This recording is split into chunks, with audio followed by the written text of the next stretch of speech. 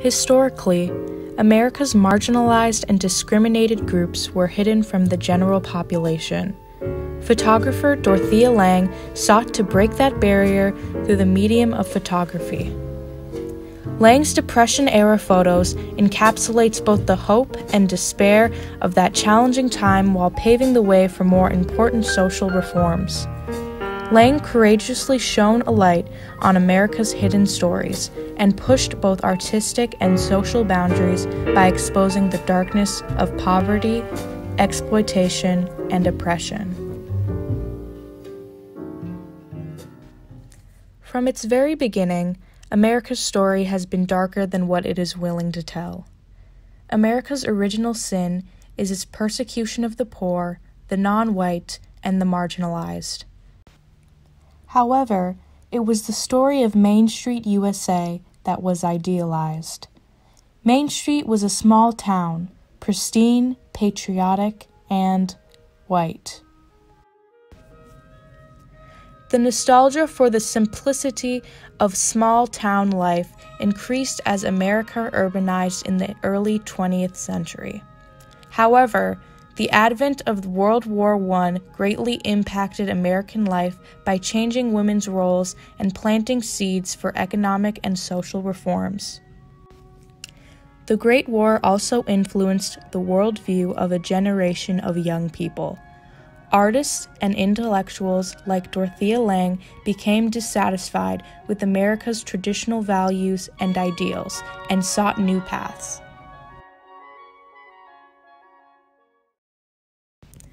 In 1918, Lange moved from Hoboken, New Jersey to San Francisco and was introduced to the city's bohemian crowd.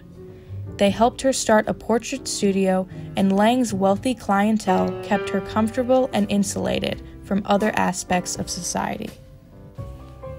After marrying painter Maynard Dixon in 1920, Lange became exposed to other types of life. Their travels west opened her eyes to beautiful desert landscapes, as well as to the grim plight of American Indians in Arizona and New Mexico. As the 1920s came to a close and the stock market crash ushered in the Great Depression, Lange's artistic focus changed.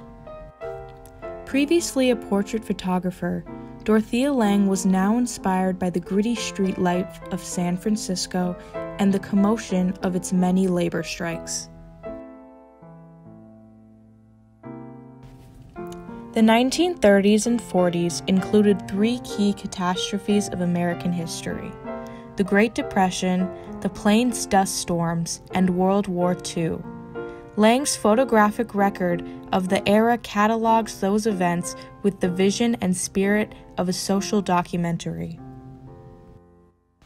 In 1934, Lange street photos, including the now famous White Angel bread line, sparked the interest of agricultural economist Paul Taylor. Taylor was studying the suffering of migrant laborers in California. Many of the migrants were refugees of the disastrous dust storms in Kansas, Oklahoma, and Texas. In 1935, Taylor recommended that the Farm Security Administration hire Lange to help document the conditions of the migrant camps and rural poor. The FSA wanted to harness support for Roosevelt's New Deal program. So Lange joined a team of talented photographers that included Walker Evans, Arthur Rothstein, and Gordon Parks. While all contributed to the New Deal's revolutionary agenda, it is Lange who is most often credited. Lange's work with Paul Taylor included detailed interviews that candidly described the exploitive treatment of migrant farmers. They captured the attention of First Lady Eleanor Roosevelt and contributed to New Deal funding for the establishment of migrant camps in California. Lange's photos had enormous impact and power. Her photos of women and their children in particular generate empathy and understanding probably the most famous is one that has been identified with the title migrant mother. You know, within that anxiety that is written all over her face, you can also see that she's actually a very beautiful woman. And that's really part of what Lange's genius was about that she could make pictures of very poor people, people very, very hard hit, and still make them extremely attractive individuals. The photo appeared with a newspaper article describing the misfortune of destitute pea pickers in Nipomo, California. A few days after its publication, the federal government dispatched 20,000 pounds of food to the camp. One of the FSA's goals was to highlight the difficulties faced by large farm owners. But Lange's photographic record of the Depression embraced America's neglected cotton and tobacco sharecroppers in the South, pea pickers in the West, and rural citizens across the United States.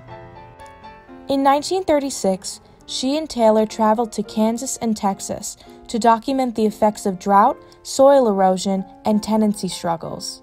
Lange's photograph, called Tractored Out, captures the demise of small farmers that began as a result of mechanization and poor farming practices.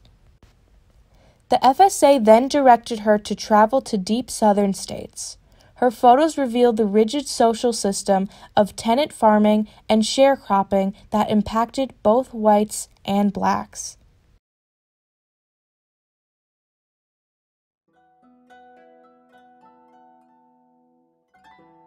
For much of this country's history, to be truly American was to be white, Anglo Saxon, and Protestant. Ethnic immigrants, Native peoples, and African Americans could never truly claim citizenship. An example of this barrier was the Japanese American experience during the 1940s. Japan's bombing of Pearl Harbor in 1941 fueled America's racist angst.